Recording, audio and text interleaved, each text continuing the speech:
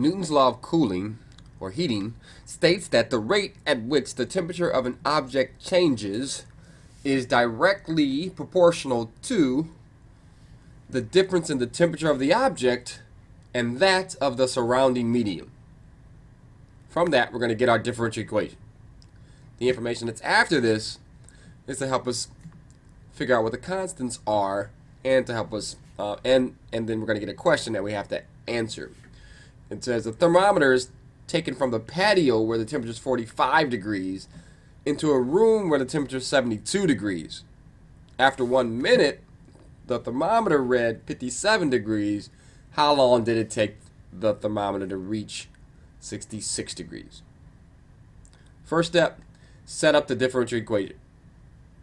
We need a formula y that, that measures the temperature as a function of time it's the temperature of the thermometer, but we're going to start at the moment where it's where it enters the room at. So T will be the minutes uh, spent in the room. Then the derivative, how this function changes, is what we're interested in. dy dt is the change in temperature of the thermometer with respect to time.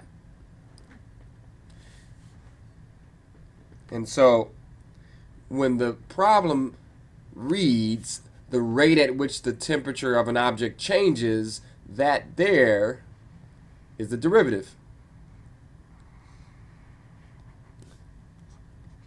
dy dt is, that's going to be equals, directly proportional. When something is directly proportional to something else, if A is directly proportional to B, then you are able to write A as some constant K times b. And so dy dt is going to be some constant k times what what's to come after the words directly proportional. And here we have a difference. Difference between two temperatures. The temperature of the object, that's y, and then the temperature of the surrounding medium. That's the, like the room temperature. And for us, that's a constant. Um, the room temperature is uh, 72 degrees. The difference there. So we get this equation. dy dt is k times y minus 72.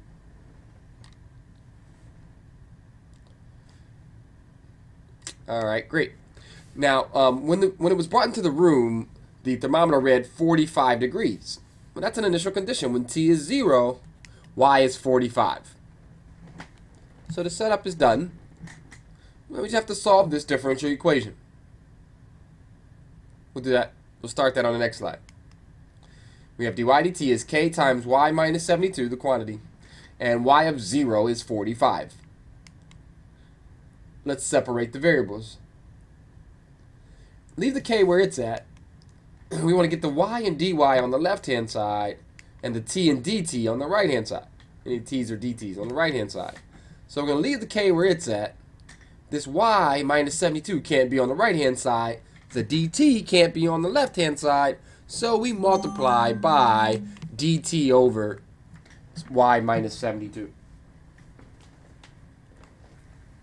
What that does for you is that will clear out the dt from the left hand side and the y minus 72 from the right hand side, thus giving you exactly the separation you need.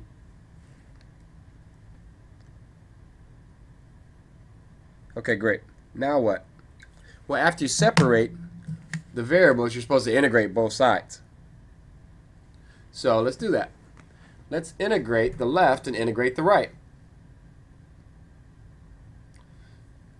The left hand will be the natural log of the absolute value of y minus 72, and the right hand side will be kt plus a constant. Alright, so we're almost done. Next step would be to find out what these constants are. We have a constant C, a constant K. We have to go get these guys. The information that's in the problem helps you solve it.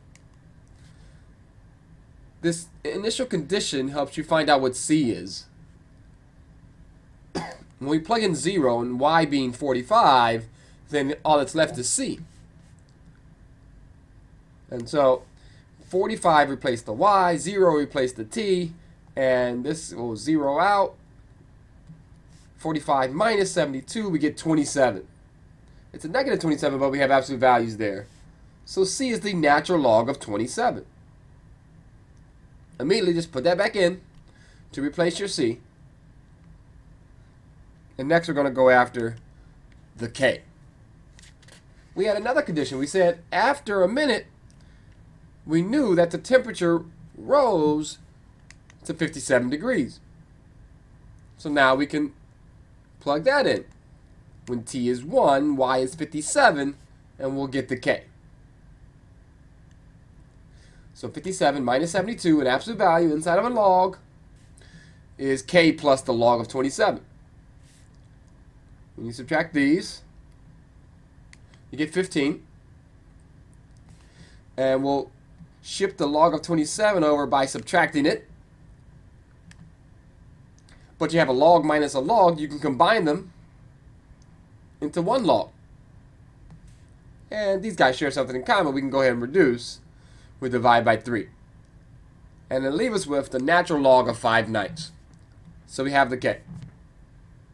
We have the C. So we have Y as a function of T. Maybe it's not written explicitly, but you give me a T, I'll be able to spit out a Y. The question doesn't ask for Y as a function of T, so we don't actually have to do that algebra. Let's see what the question is asking. How long did it take the thermometer to reach 66 degrees?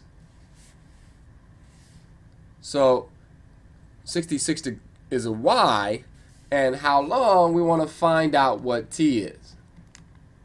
So let's solve the problem. When Y is 66, what is T? 66, take away 72. Okay, that gives you a 6, on, on you know, after absolute value. Shift the 27 over to the other side. And we have that same process of combining these into one and then we could reduce again and call that 2 ninths. We'll divide, this is just a constant here, log of 5 ninths is a constant, so we'll divide by it, and that is the actual value of time t. And we can go to a calculator to get the approximation. It turns out that it's about 2.56 minutes until the thermometer rises to a temperature of 66 degrees. Okay, great.